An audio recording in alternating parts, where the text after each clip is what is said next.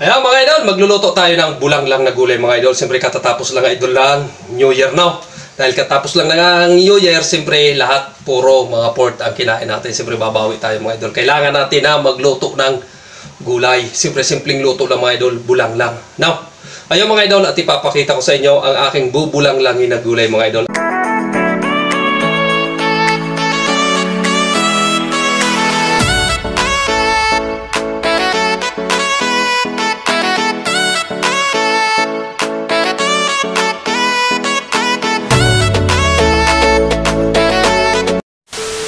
Mga idol, magluluto tayo. Magbubulang lang tayo mga idol, oh. Meron tayo na, ayan, oh, kalabasa, at saka okra, at saka sitaw.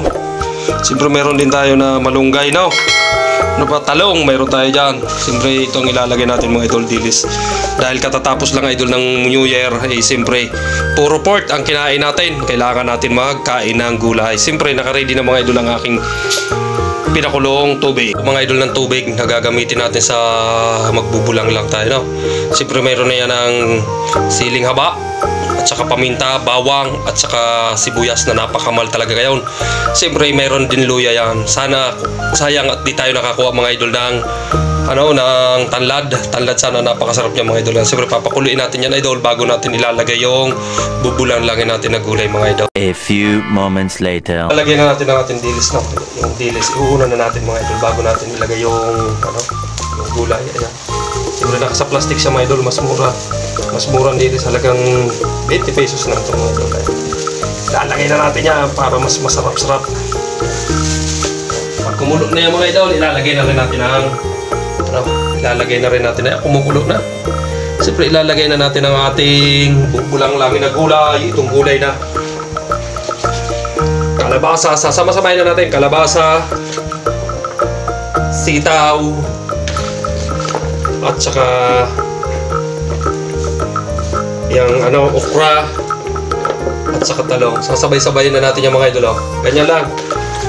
Sabay-sabayin natin. Pag yan naluto ng mga idol, siyempre ilalagay na natin yung malunggay. Kasi ang malunggay mga idol, mabilis maluto yan.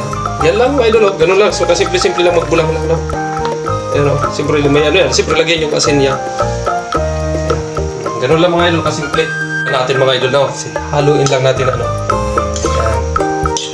Haluin natin, medyo marami ang aking pagkabulang. Ano, napakasarap nito mga idol. Dahil katatapos lang ng New Year, no? Puro pork ang kinain natin. Kailangan natin magulay mga idol. Makabawi tayo. Hindi na puro lang tayo pork. Kailangan natin ng gulay. Ganun lang kasimple mga idol, mamaya-maya. Pag naluto yan, ilalagay na rin natin ang malunggay. Siyempre, nilagyan ko na yun idol ng asin. Siyempre mamaya na natin lalagyan yung ano, isa pa yung bitchin or magic sarap. Yan ang ilalagay natin yan. Antayin lang natin ng konting minuto lang at ilalagay na natin ang malunggay. Kumukulo na dahil mga idol kumukulo na ilalagay na natin ang ating malunggay. No, kasi madali lang to maluto mga idol lahat to madali to lahat yan. Ganyan lang mga idol napakasarap yan. Simpleng-simpleng luto na naman tayo ngayon ng gulay. Bulang lang, no? Yan, kaway-kaway dyan sa mga nakain ng bulang lang. At alam nito. Ayan, siyempre may malunggay tayo mga idol. Lalagyan na natin yung malunggay para sabay-sabay na sila magluto. Luto, luto dyan. Maluto dyan para masarap ang ating kainan. Para makabawi tayo kasi lahat idol ng New Year nga dahil puro pork. Ayan. Ito, ito ang pang dabis dyan mga idol. No? Kaway-kaway dyan. No? Napakasarap ito mga idol kung alam nyo lang sa mga ano dyan, testingin yung mga idol. Ayan no, ganyan lang. No? Lalo, siyempre, samahan natin yan mamaya ng bagoong bagoong isda. Ang labis dyan. Oh, sarap niya. Ganyan lang. Kita nyo mga idol, oh. Siyempre, lalagyan na natin yung mga idol ng ating ano, pampa ano, pampasarap. Lalagyan natin dyan. Dahil nga, gumagamit ako ng ano, Ayan ang mga idol, siyempre malapit na yan mga idol maluto. Siyempre lalagyan ka natin ang pampasarap na isa pa na ilalagay natin. No? Walang iba kundi itong... Ayan mga idol, oh, si Magic Sarap. Yan ang ilalagay natin. No? Lalagyan natin ng konti lang mga idol ha. Konti lang, huwag natin pakaramihan kasi matamis pag nasobra niya. Iba magiging ibang lasa. Yan lang, tama na yan mga idol. Ganyan lang ang naka, napakasarap ng bango. Yan, simpleng bulang lang mga idol. No? At ito ang the best lahat. Ang ulam, gulay, Eh, titikman ko nga. Ang konti. Hmm. Pakasarap. Oh, ayos. Nagasulit na naman ang kain nito mga idol. Kunting asin lang. Dahilagdagan natin ang kunting asin lang. Ayan o. Lalagyan natin ang kunting asin. Para sarap na sarap ang kain natin. Yan. Kunting ano na lang mga idol. Kunting minuto na lang. At luto na no. Ayan o. Napakasarap. Kita nyo na mga idol. Lumoto din kayo mga idol ito. Huwag puro pork. No. Minsan magluto tayo ng bulang lang. Alam niyo mga idol. Namimiss ko to sa Bicol. Dati yung gabi lang, talbos ng gabi. Yung mga talbos ng kamote, binubulang lang lang namin. Walang lagay-lagay na dilis mga idol. Asin lang. Yan talaga totally ang ano. Makasarap. Yan talaga totally mga idol ang niluluto dati. A few moments later. Ayan na mga idol. Luto na ang atin. Binulang lang na gulay mga idol. Oh. Luto na yan mga idol. Ready na naman to kain. Mga idol, luto na ang ating bulang lang daw.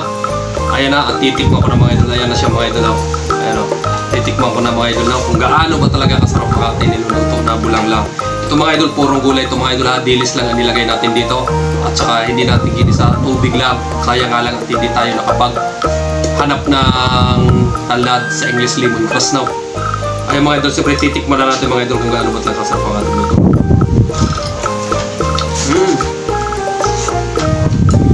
Mga idol, talagang kahit papakon mo ito mga idol. Ayan o. Kahit papakin mo to, okay lang. Napakasarap talaga. Iba talaga pagulay no. Dahil nga nakaraan, ano, Year, puro pork na kinain natin. Babawi tayo ngayon mga idol. Gulay tayo mga idol, no? Sarap. Ayan. At ako yung mga idol lubos na nagpapakalamat sa inyo lahat sa inyong mga suporta sa akin. No? Maraming maraming salamat po sa inyong lahat. Ayan, sa lahat-lahat, ayan, God bless you po sa inyong lahat. At salamat sa mga nanonood ng aking mga lahat na vlog yan. Maraming maraming salamat. Ayun, 2023 na mga idol. Ano, tuloy-tuloy lang tayo sa ating gagawin ng mga vlog hanggang matupad ang ating mga pangarap mga idol. God bless you po sa inyong lahat mga idol dyan.